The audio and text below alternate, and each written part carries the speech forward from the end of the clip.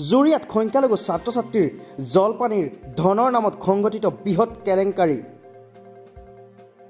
গুৱাহাটীৰ পৰা অহা চি আই ডি দলৰ তদন্ত আৰম্ভ। নগাঁও জিলাত জুৰিয়াত সংখ্যালঘু ছাত্ৰ ছাত্ৰীৰ জলপানীৰ ধনৰ নামত সংগঠিত বৃহৎ বৃত্তিৰ কেলেংকাৰীৰ বিৰুদ্ধে গোচৰ ৰুজু হোৱাৰ পিছত শনিবাৰে গুৱাহাটীৰ পৰা অহা চি আই ডিৰ দলে জুৰিয়াত উপস্থিত হৈ আৰম্ভ কৰে তদন্ত।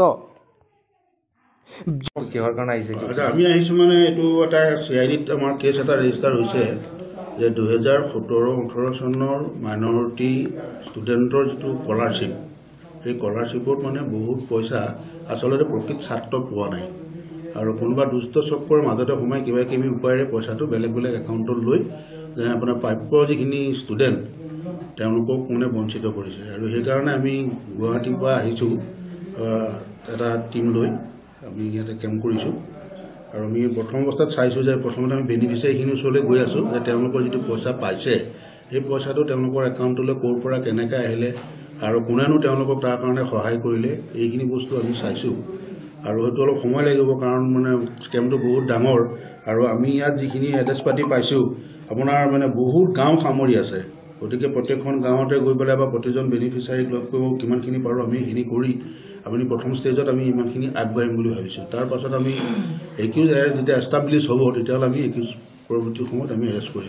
কোনটো ব্ৰাঞ্চৰ পৰা আহিছে? আমি আহিছোঁ চি আই ডি ডিপাৰ্টমেণ্টৰ পৰা। আমাৰ স্পেচিয়েল ডি জি পি ছাৰে আমাক মানে পঠাইছে।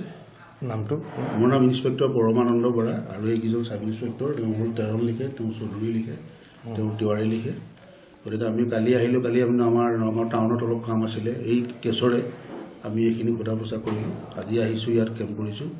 প্ৰথমতে বেনিফিচিয়াৰীখিনি চাই লওঁ তেওঁলোকনো ক'ৰ পৰা আহিলে কেনেকৈ আহিলে তাৰপিছত আমি ষ্টেপ বাই ষ্টেপ গৈ থাকিম।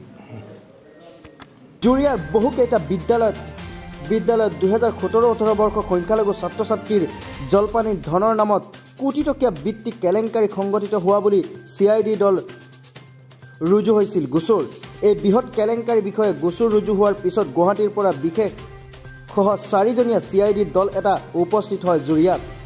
জুৰিয়া থানাৰ বাহৰ পাতি থকা চি আই ডিৰ দলটোৱে ভুৱাত তথা বেলেগ বেলেগ বেংক একাউণ্ট জালিয়াতিৰে জলপানৰ পানীৰ ধন সোমাবলৈ উদ্ধাৰ কৰা দুষ্চক্ৰটোক চিনাক্ত কৰিবৰ বাবে আৰম্ভ কৰিছে তদন্ত। প্ৰকৃত সংখ্যালঘু ছাত্ৰ ছাত্ৰীক জলপানীৰ পৰা বঞ্চিত কৰি ভুৱা ছাত্ৰ ছাত্ৰীক দেখুৱাই কোটি টকীয়া কেলেংকাৰী সংগঠিত কৰা চক্ৰটোৱে বিচাৰি উলিয়াই আটক কৰিবলৈ তদন্ত আৰম্ভ কৰা।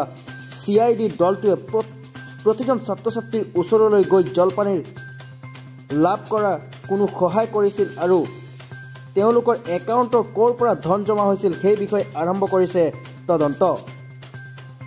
চি আই ডিয়ে এই বৃহৎ কেলেংকাৰীটোৰ লগত জড়িত ৰৌ ভৰালীসহ আটাইকে তদন্তক্ৰমে গ্ৰেপ্তাৰ কৰিবলৈ সক্ষম হ'বনে সেয়া অৱশ্যেহে সময়েহে ক'ব। ৰূপৈহাটৰ পৰা Muksidul Haque report news thirty Assam.